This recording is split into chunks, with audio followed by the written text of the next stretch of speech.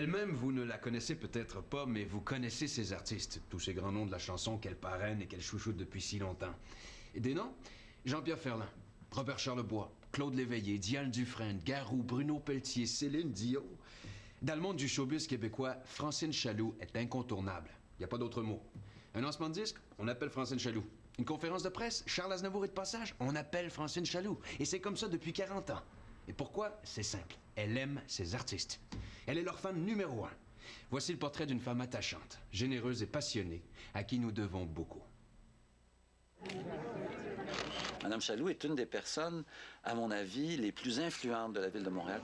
Avec Francine, on n'a pas l'impression de travailler. J'ai besoin qu'elle soit là. J'ai besoin qu'elle soit à côté de moi pour rien faire. Francine Chaloux, c'est quelqu'un d'exceptionnel. C'est une vendeuse d'enfer. Pourquoi Francine Chaloux est la meilleure? Francine Chaloux est sans doute la plus importante des attachées de presse au Québec. Dans ce métier qui consiste à protéger autant qu'à promouvoir les artistes, elle a créé un style qui lui est propre et des liens d'amitié qui couvrent plusieurs décennies. Moi, je, je la vois plus comme l'entremetteuse entre moi puis le public. là. Les médias, ça prend quelqu'un qui, qui me connecte à eux. C'est pas juste une attachée de presse. Je sais pas comment j'appellerais ça. En tout cas, dans mon cas, c'est une grande conseillère. Pour quelqu'un qui, qui a un narcissisme développé, comme la plupart des artistes, là, euh, d'avoir quelqu'un près de soi qui est de cette nature-là, ça n'a pas de prix. Elle les protège. Donc, euh, les gens peuvent avoir plus confiance en eux. Oui, c'est vrai que le, le- Québec est sympathique, le monde est fin en interview, mais je pense que c'est beaucoup grâce à Francine Chaloux. Bonjour, c'est Mémé au bureau de Francine Chaloux. Pourquoi Francine Chaloux est la meilleure? Parce que Francine Chaloux, euh, elle a le souci de ce que l'artiste veut, ce que le journaliste veut, ce que le journaliste a besoin pour faire que ce soit gros. Malgré l'événement, elle réussit toujours à faire ça, à ce que l'événement soit une grosse affaire. C'est de talk of the town. Ah, il est reparti, lui, après. De qui on s'est occupé? Ben, euh, il y a Céline, bien entendu, il y a Garou, il y a à peu près tout ce que Luc Plamondon fait. Euh, il y a Bruno Pelletier, il y a... La liste de ses protégés est si considérable qu'il serait impossible ici de tous les nommer. Euh, elle l'a presque inventé au Québec, ce métier-là, elle. Et je me suis toujours dit, moi, ça se fait qu'à penser faire ça. Une petite fille de Robertval là, qui débarque euh, à Montréal, euh, alors qu'il n'y a rien au fond qui se passe à cette époque-là, il y a 40 ans, puis qui va grandir, grandir, et tabarouette... euh, C'est toute une vedette, Francine. Une artiste dans l'ombre. Francine Chaloux, née Lévesque, naît en 1939 à Saint-Félicien au Lac-Saint-Jean, dans une famille de notables doués pour le bonheur. Quand je retourne au lac Saint-Jean et qu'on me dit que je ressemble à mon père, c'est le plus beau compliment qu'on puisse me faire. C'était un bon vivant. Il adorait la vie, il adorait les gens, puis le monde lui rendait bien. C'était un médecin, il était maire de la ville. C'était quelqu'un qui euh, était extrêmement actif, qui travaillait le jour, la nuit, euh, qui avait un potager immense. Et quand il revenait de faire ses visites aux malades à 2 heures du matin, il travaillait dans son potager avec une lampe de poche. Ah, il pouvait soigner pour euh, rien. Il disait toujours, ben, tu me régleras ça quand tu pourras, euh, c'est pas grave, euh, ça me dérange pas. Ma mère était le boss de la maison, puis mon père l'appelait toujours le grand foreman. Le grand foreman ici, c'est votre mère. Si tu demandes à chacun des enfants, euh, est-ce que ton père avait un enfant préféré, on a tous la certitude que c'était nous. Alors, euh, je suis sûre que Francine pense qu'elle était la préférée de papa, mais dans le fond, je pense que c'était moi. Mais des fois, je me dis que c'était peut-être elle aussi.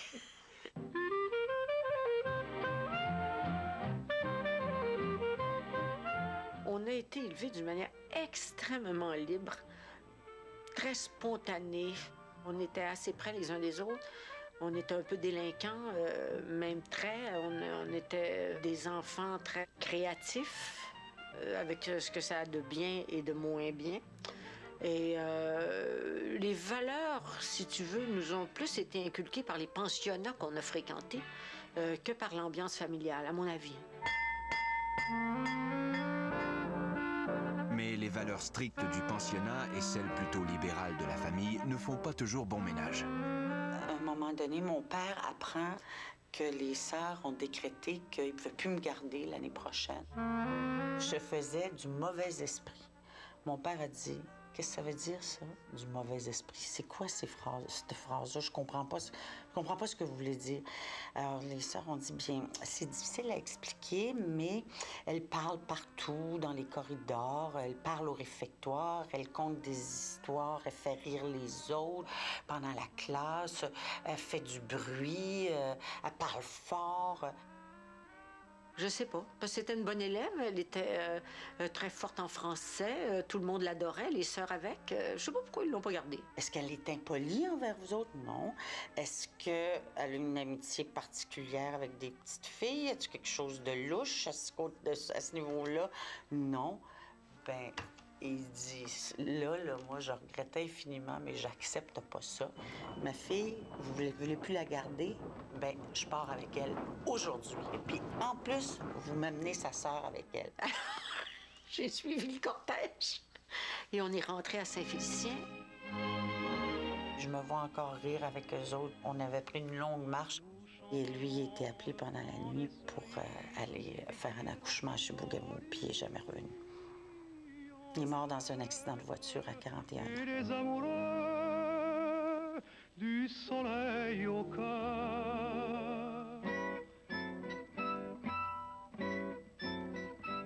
J'avais une relation complexe avec ma mère. On était en conflit euh, tout le temps. Et puis, euh, elle aussi, elle, comme les sœurs, elle trouvait que je n'étais pas très obéissante et puis que je n'étais pas reposante. Elle me disait, si tu rentres pas à 9 h ce soir, mettons, euh, tu sortiras pas pendant deux semaines. Je rentrais à 10h30. Puis en plus, elle trouvait que j'aimais trop les garçons, puis que ça avait pas de bon sens. Francine a fait la conquête de toute la faculté de médecine. Elle n'a jamais fait les choses à moitié. Euh, la faculté de médecine commençait à téléphoner chez nous le soir vers 4 heures et ça se terminait vers minuit et demi après le 27e téléphone. Louis Chaloux sera l'heureux élu parmi tous ses prétendants. Lui était étudiant en médecine, moi j'étais rendue aux sciences domestiques. Ça, c'est assez intéressant. C'est une faculté à l'Université Laval dans ce temps-là. Je me vois d'ailleurs aux sciences domestiques où est-ce qu'on apprenait la chimie, entre autres choses, la physique pour faire à manger puis pour s'occuper de nos enfants. À 18 ans, Francine Lévesque convole en juste noces et devient Madame Chaloux. Je voulais faire l'amour et qu'on pouvait pas faire l'amour si on n'était pas mariés parce c'était péché. Dans ce temps-là, j'avais une théorie. Dans la vie, tout ce qui était plaisant, ou bien ça faisait engraisser, ou bien c'était péché. J'étais folle de lui, là. Moi, j'étais sûre que c'était l'homme de ma vie. Écoute, il y a eu une influence énorme sur moi. là. Ça a été un peu comme mon père. C'est lui qui m'a donné le goût de lire. C'est lui qui m'a donné le goût d'aller au cinéma. C'est lui qui m'a fait découvrir Charles Trenet, Georges Brassens. Je chante, je chante soir et matin, je chante. Il m'obligeait à lire Le Devoir le matin, puis à résumer l'éditorial le soir, pour voir si je l'avais bien lu, puis je l'avais bien compris. Je suis heureux, j'ai tout et j'ai rien. Je chante sur mon chemin. Je me voyais vieillir avec lui, je me voyais avoir des enfants avec lui, puis être une bonne femme, puis une bonne mère, puis une bonne maîtresse de maison. C'était mon rêve. Mais pour Francine Chaloux, la vie de reine au foyer semble rapidement limitée. Le vent des années 60 se fait sentir jusqu'en Abitibi. Isabelle Isabelle comme du miel.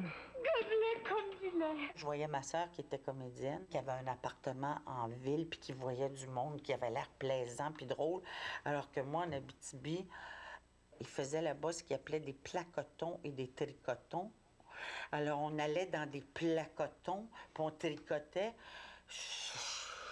J'ai ça pour mourir. Elle a suivi mon père qui était médecin, euh, médecin de campagne. euh, et puis mon père travaillait 20 heures sur 24. Alors euh, elle haïssait tellement ça qu'elle se levait à midi puis elle se couchait, le soir à 8 heures. Lui, il me disait, mais de quoi est-ce que tu te plains? T'as un char, il m'avait acheté une petite Volkswagen, t'as une bonne, t'as deux beaux enfants, t'as un mari qui t'aime. Qu'est-ce qu'il te faut de plus, toi, là, dans la vie? Mais un autre drame vient bouleverser sa routine.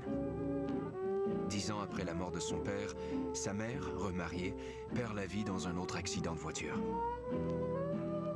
Alors, on s'est retrouvés tous euh, une joyeuse gang d'orphelins. Et c'est mon mari qui a eu la générosité de dire Écoute, je pense qu'on devrait prendre tes petits frères. Puis c'est entendu qu'on s'est installé à Montréal où lui se spécialisait en psychiatrie. Alors, on s'est installé sur la rue Rockland avec mes deux filles et mes deux petits frères. C'est à Montréal que le hasard lui fera rencontrer le producteur de spectacle Guy Latraverse, avec qui Francine commence bientôt à travailler. Avec euh, Guy, j'ai découvert le buzz, mais vraiment le buzz de travailler. Et ça, ça a changé ma vie complètement. Pourquoi Francine? Je pense, que c'était ce- je pense que c'était son entre-gens. Cette, cette capacité qu'elle a de, de faire qu'on l'adore au bout de cinq minutes. Les- sa gentillesse, euh, sa, sa bonne humeur. euh. Puis là, Guy m'avait dit Écoute, toi, là, ce que- qu'est-ce que tu veux faire dans la vie? Il dit Écoute, tout ce que tu as envie de faire, là, tu le fais. Francine Chaloux était une reine du foyer. Elle va devenir une reine du showbiz. Comme elle le dit elle-même, elle est payée pour avoir du fun. Jamais une chanteuse